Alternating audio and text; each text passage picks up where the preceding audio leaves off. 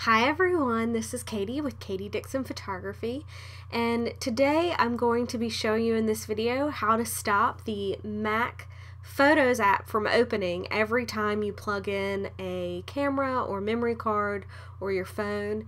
If you're anything like me, uh, and you really don't use the Photos app for anything at all, um, it's really annoying when it keeps popping up every time you plug something in. And it took me a while to figure out how to get this to stop. So I'm going to show you two ways to get the Mac Photos app to stop opening every time you're trying to import your images to your computer.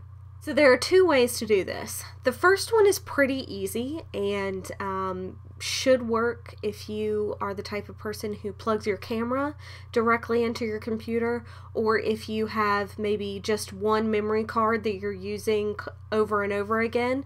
Um, so this is just the, the first way, the really easy way. So I'm just going to show you. I have a memory card here that I'm going to plug into my computer and uh, Photo should pop open, so we'll see. Just give me a second. And I'm just plugging this into a card reader that I have attached to my computer.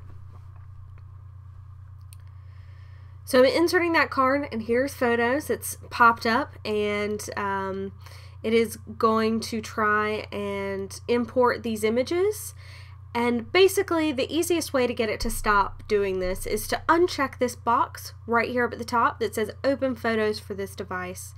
Now, as I said, if you are plugging in uh, the same device over and over again, whether it be your phone or your camera or a memory card that you use constantly, that's all you need to do. Uh, you just need to uncheck that box for every device that you're plugging in that you don't want photos to open for. So the next time you um, plug that card in or that, that camera in, it's not going to come up.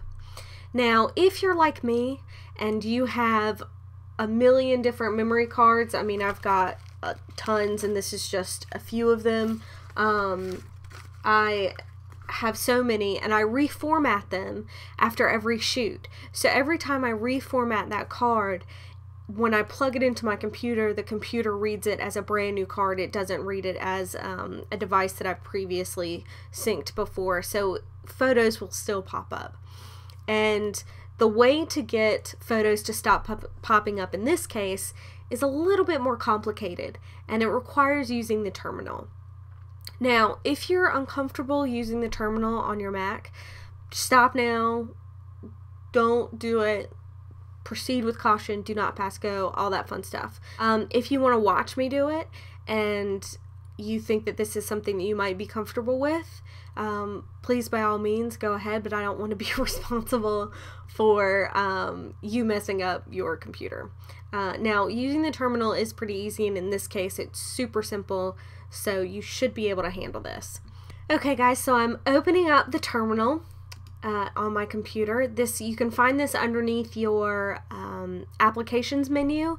I already had this open, so it's just right here on the dock. Um, but it it opens should default open to something that looks like this. So it should look pretty gibberishy. Basically what you're going to do is you're going to paste in a line of text which is a command line uh, into this terminal. And I've already copied it so it's already in my clipboard.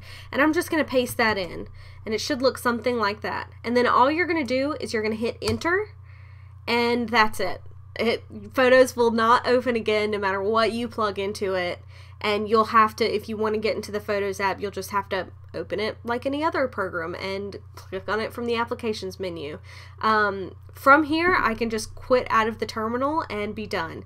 Now that line of text is very specific so you shouldn't mess with it. And I have pasted it as is and as you need to paste it into the terminal in the comment section below this video so just and it's in bold so just copy it all everything that's in bold and paste it into the terminal window, hit enter, and you will be good to go.